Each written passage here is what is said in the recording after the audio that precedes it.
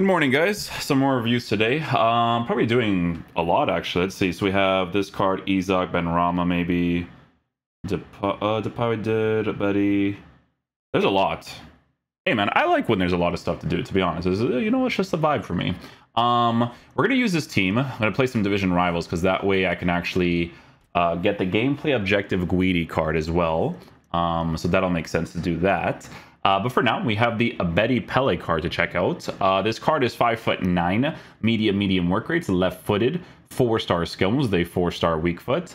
Player traits, he's got speed dribbler, playmaker, technical dribbler, flair trait. So for me personally, guys, I decided to, as of right now, give him the Deadeye chemistry style, right? This is definitely a card that I do mainly see being played through the middle, but obviously with improvements in the future, um, it would be really nice for you to be able to use them in the side positions as well. Because pace is like really, really important in the side areas. In the middle, it's more about attacking AI, getting into the right areas at the right time to shoot, all that kind of stuff, right? So base card stats for pace is already in a decent area. That with the improvements will be nice. Um, we're giving him a Deadeye right now because he definitely needs the shooting improvement since it's in the low 80s, mid 80s area.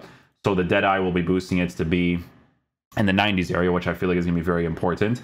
Passing will be good. Dribbling, uh, we're going to experiment with because he's 5 foot 9 at an average body type. So we have to see what that's going to be like in game. Uh, he's got 84 heading accuracy, stamina at an 86. So yeah, it kind of just suggests that you're going to use him uh, mainly playing through that uh, middle position, right? So um, yeah, taking a look at the differences between these two cards here twos and threes. Did I review the uh, other other? I don't know if I did hero reviews like in the beginning. I don't know if I did. Honestly, I don't remember. Hard to remember. So it's been a while. Um, okay. So, anyways, um, we'll try him on the three four two one. Play him in the striker position, so we can kind of get some different goal scoring opportunities. Uh, we also have a four three three, which we could totally use too, where we could do it like this actually. So we could do it like this. Yeah, I'm down. I'm down. I'm down. Okay, cool. Uh, let's go try them out. You expecting to see? Well, Derek, we can talk about coaching. Few can finish quite as adeptly as Harry Kane. A goal for him. Oh, we're starting on that for the kickoff, huh? Okay.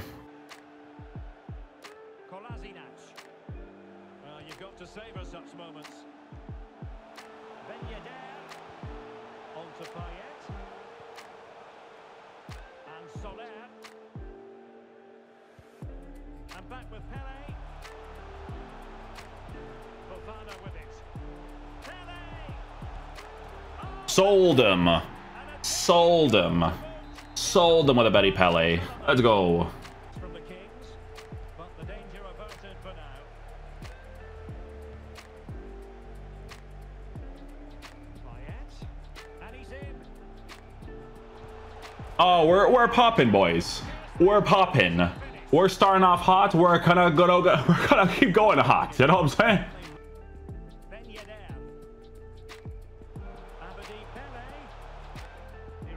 I should have just stopped it, but facing upwards so I can make that pass afterwards. It would have been perfect, I think.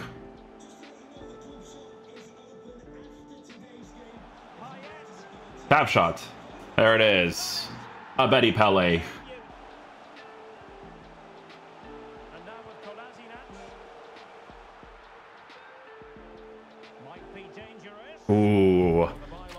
Is gonna get there. That's a, that's the thing, right? Is like you you you do attack against that one guy, but it's always the guy behind, man.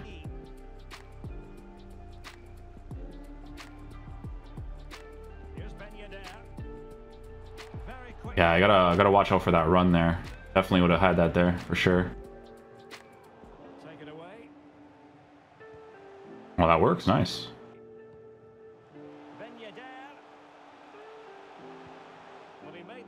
Yeah, Virgil's going to have the reach there. It was a good run, though. Decent move from the Kings, but quick thinking defensively.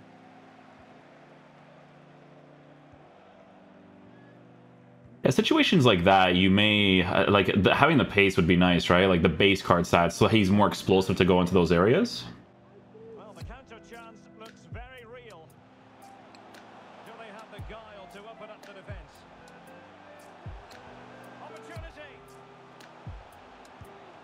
Oh, dude, if... Okay, if his dribbling felt a little bit more responsive, like he definitely has the average body type, I'll tell you that right now. I did an L1 left stick up. If I got on his left foot, it's a goal for sure.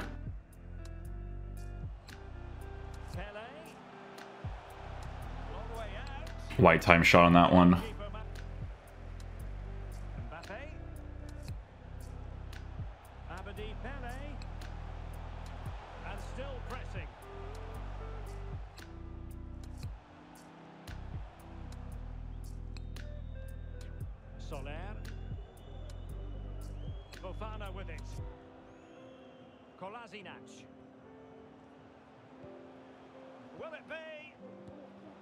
Works for me.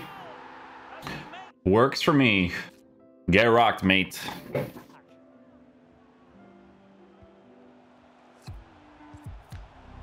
Oh, yeah. So it's kind of like based in the middle there. Not really going to come off that well, especially if I don't green it.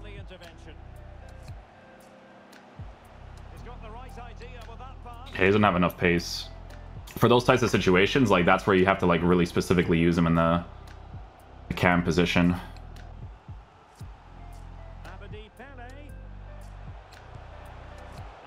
Yeah, good try. Couldn't get the timing on it for that type of shot there.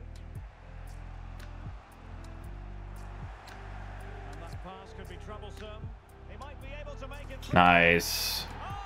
Well done, good chip. Very clean chip too.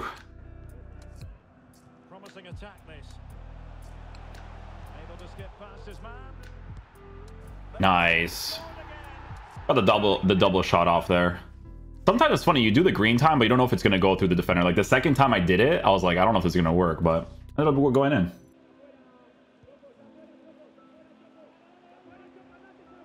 He's going forward well here, not troubling the keeper.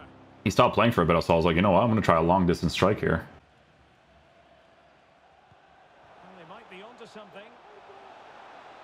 That's a pen uh, when you get too close to the goalkeeper, like sometimes you want to go for a pass, but you don't know if you should go for the pass. Then you just kind of gotta hope that you get a good left stick off or something, you know. I'm gonna go down the middle. Yeah, my gut was telling me not to go to the sides, you know. I was like, I was not feeling it.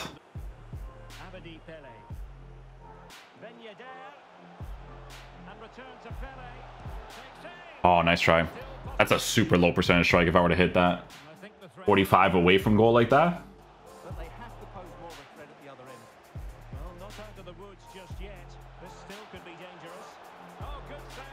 Couldn't get, couldn't get the timing on it. His animation choices for shooting, it, it takes a while, so you have to get used to that. Like, it, it's... You gotta get used to how slow it can be sometimes.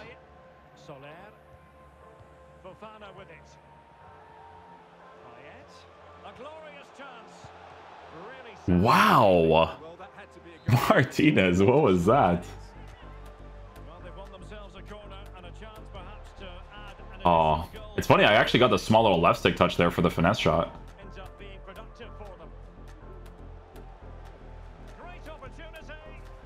I got a little bit lucky there, but made it work. Made it work.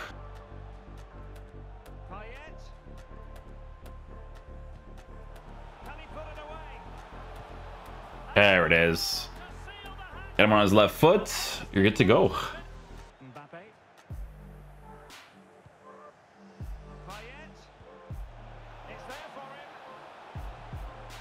Ah, oh, dude, and I got, you know what's funny? I got the timing for the left stick, but it just didn't go far enough to like the bottom right to get past the goalkeeper.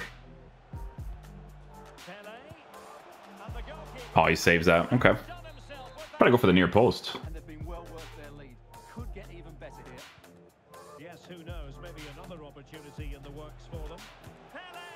Ah. Work the small angles there.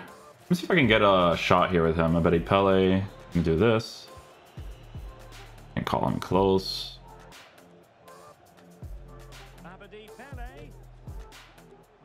His animations just, it takes so long sometimes, man. Ah, couldn't get the green on that one. Okay, guys, so final verdict on the Abedi Pele card. So Abedi Pele, for me, is just one of those types of guys where I feel like they just overprice him like crazy. Um, I do feel like he's overpriced 100%. Uh, it's always like this every year. I don't know what it is. Like There was a point last year I forget which card it was. I think it was uh, up until the point, like for me personally, where it had to reach that card where it was the five star skiller one, right? So let me see here. So Abedi Pele, was it this one, the shapeshifters? Oh, five star, five star shapeshifters. It might have been that one. What was the other one that he had? Abedi, Abedi Pele. I don't even know if it was this one either. I, I forget though, because last year it was the same thing for me. I was like, this card, they overpriced him like crazy for what he offers in game, right? It's just one of those types of things. Um, okay, so a few things that you have to talk about, right? So as of right now, it's a card that needs the upgrade. Uh, people have just taught me recently that it is in, I think it's March 17. That's when the games actually start. Um, with Abedi Pele, I actually have to see what team. Do they tell you in the actual game which one it is? Let's see, hero profile. Um, two additional assignments based on the form of Marseille. Okay, so it does tell you March 17. Okay, so they do they do tell you in the hero profile. Okay, so March 17 for Marseille. I think Marseille can get wins. I think that right now they're in second place probably. And they obviously play in the League One. So in the League One, there's obviously more chance of getting upgrades. Uh, first and foremost, this card definitely needs upgrades because of the way that it's formatted in certain areas. Um, obviously, with shooting, uh, you definitely want to be able to improve that on the card, even though he shoots the ball quite well if you get into the high percentage strike angles, but you do have to currently give him a Deadeye, right? Um, so team form, let's check it out. So March 17, uh, they play against Reims. I think Reims is the team that's actually doing okay, isn't it? The dude that has, I think they have like that English manager, or is it a different manager? I forget. It's the team that Balogun plays for, I think. Um, okay, so they play against Reims, uh, Montpellier, Lorient. I think Lyon is probably the only one. Like, I could see them winning all of these games. So that upgrade for the first one Club avoids defeating the next six games. I think it's possible, but the Lyon game is probably going to be the toughest one, probably. Um, the club wins one game in the next six games. They'll definitely get that. So taking that into consideration, with a Deadeye chemistry so as of right now, right? Uh, base card stats for pace definitely needs to be improved.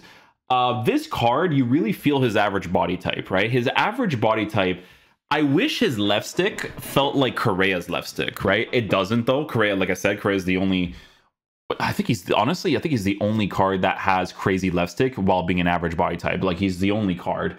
Um, so you definitely feel the average body type on this Abedi Pele card. Uh, you notice it for certain situations, like shooting animation, sometimes a little bit slower and stuff. Um, so the way you have to green time, you have to like really get used to the card a little bit. Um, the card's not horrible by any means. Obviously, if you pack him, he's going to be a cool card to use regardless, specifically in that cam position for sure, um, because the way that it's currently formatted. In the future, though, if they do end up improving the card, I feel like you still have you have to massively boost his shooting. So I still feel like you're gonna give him a Deadeye. What are people giving him? A hawk, a hunter. Yeah, but that's just currently though. A hunter makes sense to boost the pace and the shooting, but if they improve the stats of the card, it won't really make sense to give him that boost, right? Um, because of the way that the pace is being boosted and whatnot. Like you really have to hope that with a Deadeye in the future, especially with the double upgrade, they'll give him enough pace, right? So maybe like a plus two in acceleration and sprint speed would be great. Um, some people honestly might still give him a hunter if they give a plus two in that general area too, but I still feel like the shooting still needs to be massively improved on this card, right? So um, I do feel like he's overpriced, overpriced for sure. It's not a bad card in game. He's actually pretty solid to use. Uh, just overpriced. That's what it is with him. Like it's it's always been the case for me when it comes to FIFA with Abedi Pele. I don't know. It's just one of those things with him, right? Um, but other than the fact that he's overpriced, if you do end up packing him uh, as one of your cards, he's going to definitely be pretty solid to use. You just have to work with the left stick sometimes. Um, I mean, that's pretty much it. It's the left stick, and then obviously you kind of have to hope for better pace in the future uh, so that you can kind of play to the meta of the game a little bit more, right? But his average body type definitely is noticeable on this card for sure. It's one of those types of things. Uh, but if he does get the improvements, it'll be pretty decent. I think shooting being improved would be nice, but it's it's mainly for pace and dribbling. Those two areas, that's where you want to be improved the most for this card, for sure. But um, yeah, hopefully you guys enjoyed this video today. I'll catch you guys for the next one. Peace out, dudes. Love you guys.